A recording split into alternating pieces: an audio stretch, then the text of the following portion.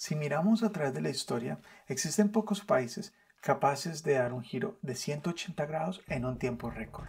Entre ellos destaca Japón, un país capaz de hacer una de las metamorfosis más asombrosas. Ahora, imagina un país encerrado en su capullo feudal, que tan solo en cuatro décadas despliega sus alas para convertirse en una superpotencia industrial, económica y militar. Hola, yo soy Cristian y hoy te voy a llevar un viaje emocionante por el tiempo para revelarte cómo Japón se sacudió de su pasado feudal y se catapultó hacia el futuro. Así que prepárate porque esta historia es tan fascinante que te va a encantar.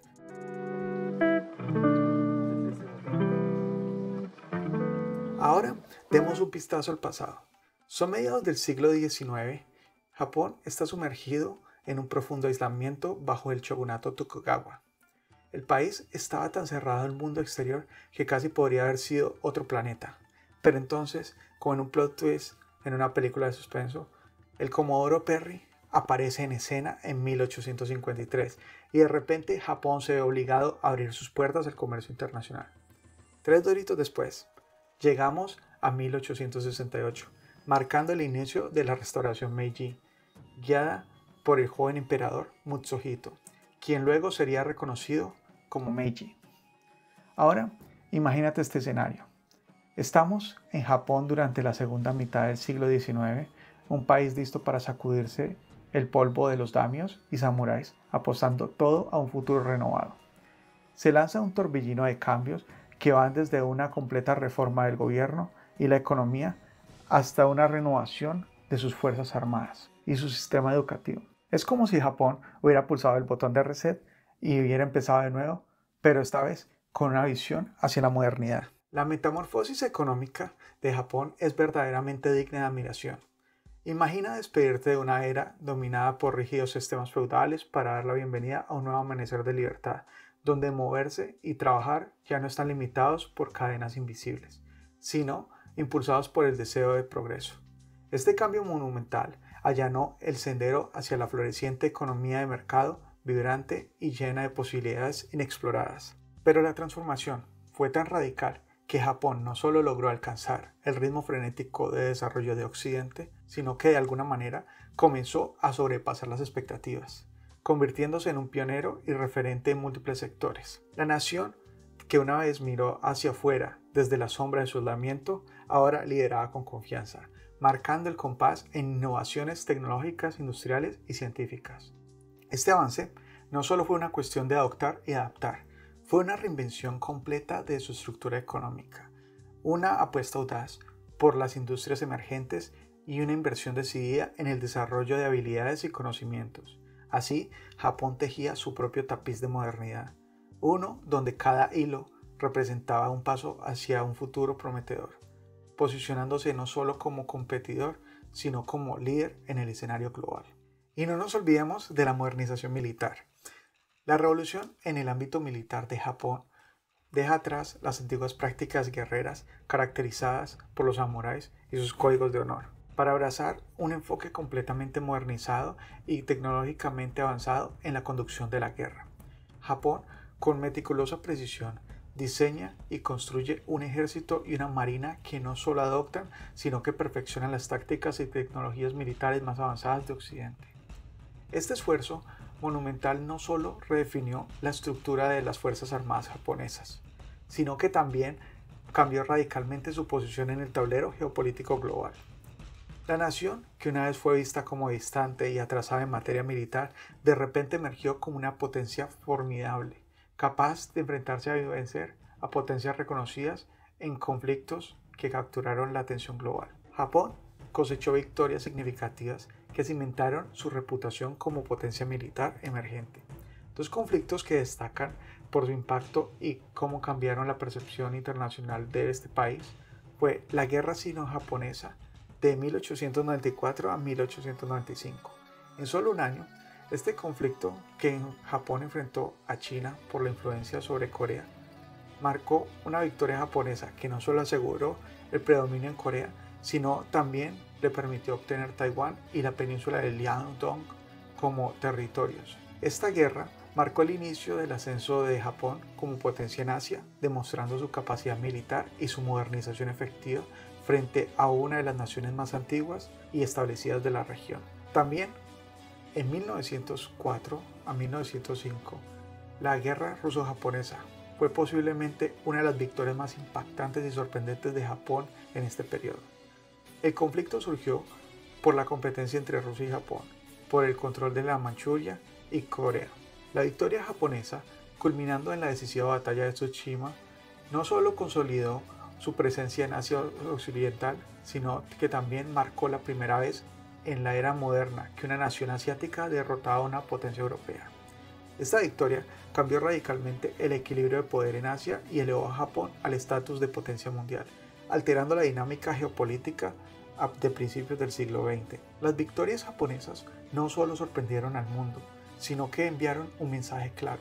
Japón había llegado no solo para competir, sino para dominar. Este ascenso militar no se basó únicamente en la cantidad de sus fuerzas o en amplitud de arsenal, fue el resultado de una visión estratégica, una inversión significativa en investigación y desarrollo y un compromiso con la formación y capacitación de sus militares.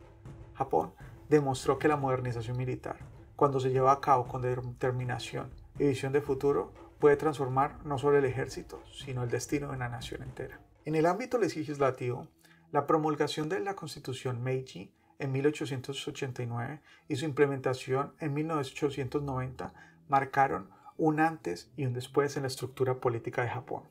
Esta constitución introdujo un sistema parlamentario bicameral, inspirándose en modelos occidentales, pero manteniendo la sacralidad del emperador.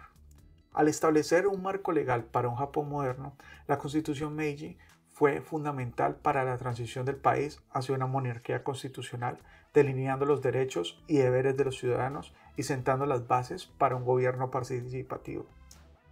Este paso crucial en la modernización legislativa simboliza el compromiso de Japón con las reformas estructurales profundas, permitiéndole competir al nivel de potencias occidentales.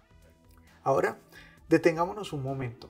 Más allá de la impresionante historia de crecimiento y poder, lo que realmente hace que la restauración Meiji resuene es su capacidad para inspirar. Japón demuestra que con las reformas correctas y una dirección clara, transformarse de una nación aislada en una potencia global no solo posible, sino alcanzable. La constitución Meiji no solo transformó el panorama político del país, sino que también fue un paso significativo hacia la creación de una estructura estatal moderna, evidenciando cómo la adecuada combinación de visión, determinación y adaptación a nuevas realidades puede catapultar a una nación hacia el futuro. Pero espera, aún hay más. La restauración Meiji no solo catapultó a Japón desde las sombras de un estado feudal hacia la luz de una potencia industrial y global, sino que también marcó el inicio de un enfrentamiento y adaptación a los retos impuestos por las potencias extranjeras. Presionado a dejar atrás su milenaria política de aislamiento, Japón entreabrió sus puertas al mundo de tratados de comercio y navegación, embarcándose en un inédito viaje hacia la apertura y la modernización. Este notable avance económico se puede ver evidenciado por el asombroso crecimiento en el comercio internacional, desde unos modestos 45 millones de yenes entre 1878 y 1882 hasta más de 440 millones de yenes entre 1908 y 1912. Esto fue fruto de las reformas trascendentales como la abolición del sistema feudal y una vigorosa apuesta por la industrialización y la innovación tecnológica. Estas medidas sentaron las bases para el surgimiento de una economía dinámica enfocada en la competitividad y la innovación. En el corazón de esta transformación económica estuvo Masayoshi Matsukata, quien, aunque no ostentaba formalmente el título de ministro de Economía, ejerció como ministro de Finanzas y se convirtió en uno de los pilares de la modernización económica de Japón. Bajo su tutela se estabilizó la moneda japonesa y se fomentó el desarrollo industrial, culminando con la fundación del Banco de Japón en 1882, que se erigió como la piedra angular de la política monetaria nacional. Matsukata, junto a otros visionarios, no solo reforzó las arcas del Estado, sino que también impulsó vehementemente la economía hacia la modernidad. Además, el desarrollo de los Saibatsus, conglomerados de empresas familiares como Mitsui, Mitsubishi y Sumitomo desempeñaron un papel vital en la economía, impulsando la industrialización a través de la diversificación y capacidad de inversión. Esta era de profundos cambios, influenciada tanto por reformas internas como conocimientos externos, demostró que Japón, adaptando los modelos prusiano-alemán, británico y estadounidense-francés a su contexto único, podía lograr un desarrollo económico acelerado. Este periodo